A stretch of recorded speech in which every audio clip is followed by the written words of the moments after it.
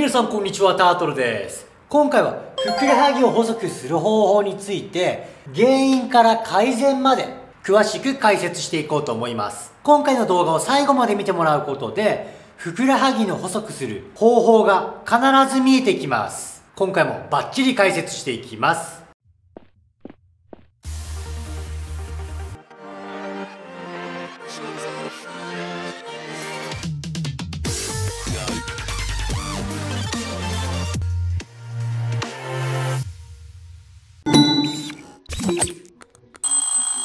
はい、始まりました。今回、ふくらはぎを細くするためには、まず、太くなった原因を知ることが大切です。まず、原因でよくある一つが、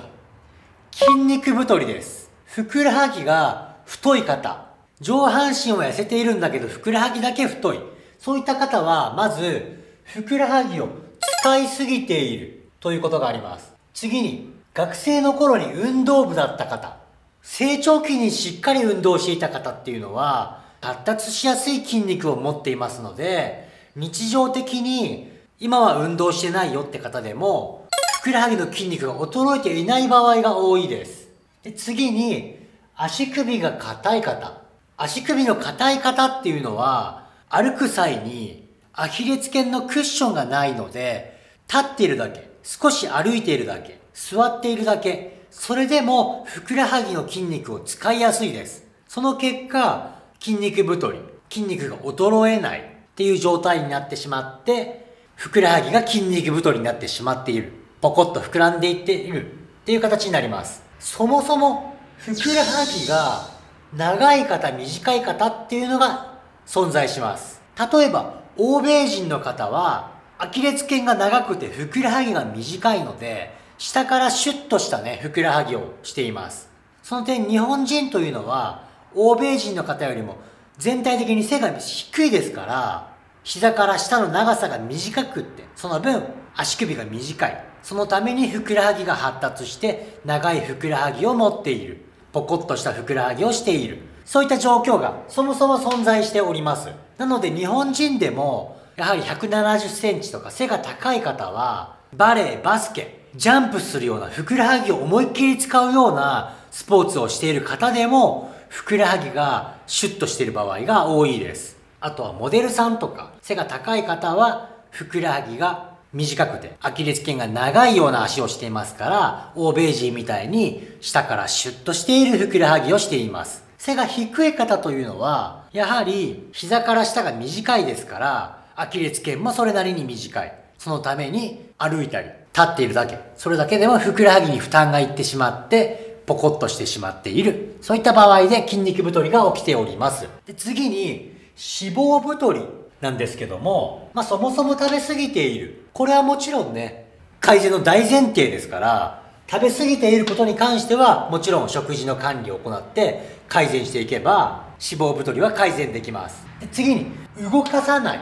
筋肉を動かさない部分っていうのは熱を持たないので熱が持たない部分っていうのは脂肪がつきやすいです。寒い国にいる動物をイメージしてもらうと分かるんですけども体が冷えないように脂肪を蓄えるようになっています。ですので体の冷えやすい部分筋肉のない部分というのは脂肪がつきやすいので動かさないためにその部分に脂肪がついてしまっています。で筋肉がないことによって冷え性になってしまっている。冷え性の方っていうのは基本的に足がぷよぷよしています。足が冷えることによってやはり脂肪をつけないと体が冷えてしまいますから冷え性の方っていうのは脂肪太りになってしまって改善しなければいけないということになります。で次にむくみ太りです。むくみ太りの方って自分がむくんでいるのかそれとも脂肪がついているのか分かっていない方多いんですけどもどこで見るのかっていうとまず2番になってくるんですけども1番は脂肪太りと一緒です。筋肉を動かさないことによってポンプが働きませんから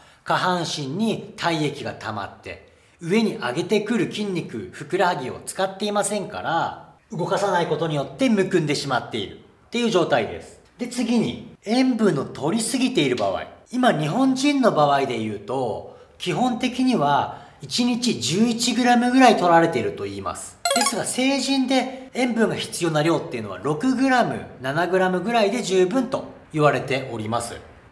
なので基本的にはむくんでいるなっていう方は倍ぐらい塩分をとっているというお話になってきます。例えばお菓子とかチョコレートとか麺類。そういったものをパンとかとっている場合があるっていう方は基本的には塩分がオーバーしていることがすごく多いです。自分で料理している場合は塩分をあんまり使わない限り取りすぎていることはないとは思うんですけども基本的に加工食品を朝とかお昼とか食べているっていう方は大体塩分がオーバーしていますのでここを改善していくとむくみは改善しやすいです。で次に足首の筋力の低下っていうところがあります。足首の筋力の低下が何に関係してくるのっていうとこなんですけども足首の筋力が低下していると立っている時座っている時という時に浮き足になってしまっています。足の指が地面についていない、地面をしっかり掴んでいないような足は、ふくらはぎがあまり使われていない状態になります。そうすると、動かしていないという状態になりますので、足首の筋力の低下を改善しなければいけません。では、もう改善していくためにはどうすべきか。ポイントは3つです。動かす、伸ばす、塩分を気をつける。これがもうほとんどの結論に至ります。ここの3つを改善できると、ほとんどの方が食べ過ぎている方以外は改善できていきます。まず、どうすべきか。筋肉太りの方は使いすぎると筋肉が落ちませんから細くなりませんよね。なので、使うというよりも動かすというイメージです。足指をしっかり鍛えた上で浮き足にならないように適度に歩くことです。歩くことでふくらはぎの筋肉を使いますから、むくみの改善、動かさないっていうところを改善できます。そのためには筋力の低下を改善するために足指のグーパーグーパー。例えばタオルの上に足を置いてグーパーグーパー。タオルを引き寄せる感じです。そういった感じで足の指を鍛えてください。もしくは平べったいゴムのチューブを足にこのギュッとはめてですね、キュッキュッという感じで平べったいゴムで足の指を鍛えてください。そうすることで筋力の低下が改善できますので歩く時にちゃんとふくらはぎを使うことができます。で、次に、毎日伸ばすことが大切です。筋肉太りの方は、ストレッチをしないと筋肉緩みませんから、必ずストレッチをしてください。じゃあ、どこを伸ばすのかと言いますと、足首のストレッチ。次にふくらはぎのストレッチ。最後にハムストリングのストレッチです。足首のストレッチをすることで、筋肉太りのふくらはぎを改善することができてきます。で、次に、ふくらはぎを伸ばすことで、ふくらはぎの収縮。やはり、適度に歩かないとダメですから、ふくらはぎを伸ばしてない人がたくさん歩いてしまうと、歩く時にふくらはぎに直にアプローチがいきますので、筋肉太りの方は、ふくらはぎの筋肉が落ちにくいです。そのために、ふくらはぎを伸ばして、筋肉の収縮を遅らせれるようにしないといけません。次に、ハムストリング。ふくらはぎなのにももの裏伸ばすのって思った方多いと思うんですけども、ハムストリングを伸ばすことで、半長膝というのを改善できます。ふくらはぎが太い人っていうのは、足首が硬い人が多いですから、足首が硬い、そしてももの裏が硬い人っていうのは、必ず半長膝といって、膝が少し後ろにポコッと出たような下半身をしています。その場合、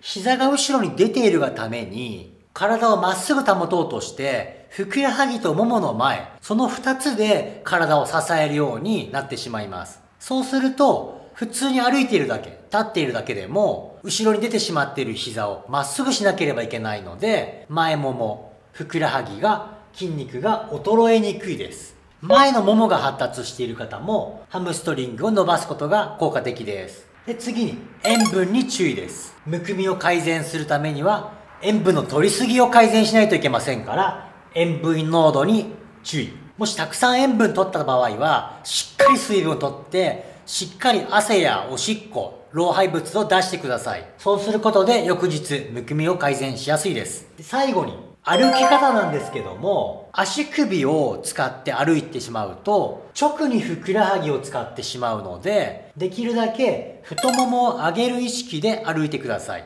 で、浮き足に注意です。足の指が地面についていないと、ふくらはぎに筋肉が伝わりやすいので、太ももを上げる意識で、ちゃんと足の指をキュッと地面を掴む感じで歩いてください。で、最後に、内もものエクササイズです。内ももの筋肉が衰えると骨盤が広がってしまってですね、歩く時に足の指が外側重心になりやすいです。太ももを上げる意識、浮き足に注意して、適度に動かしてグーパーする。毎日伸ばす。これらをしていても、内もものエクササイズをしていなくて、内ももの筋肉が衰えている方は、外側重心になってしまうので、やはり、外側のふくらはぎが衰えにくくなってしまいます。内側のふくらはぎは衰えるかもしれませんけども、外側のふくらはぎが衰えにくくなってきますので、それではふくらはぎが細くできません。なので、それらを全部改善した上で、まとめますと、動かす、伸ばす、塩分。この3つです。ふくらはぎを細くするためには何をすべきか分かったでしょうか？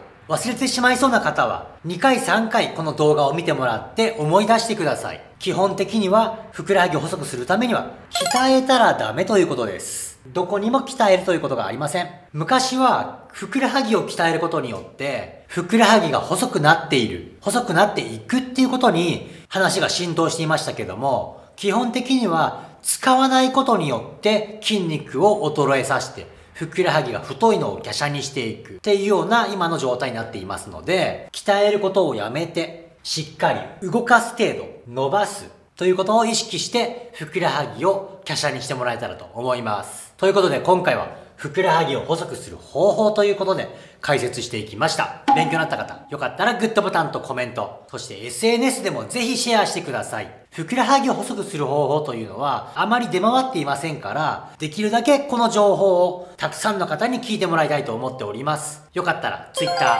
Instagram、YouTube などで拡散してもらえたらタートル喜びます。ありがとう、ありがとうございます。今回もご視聴ありがとうございました。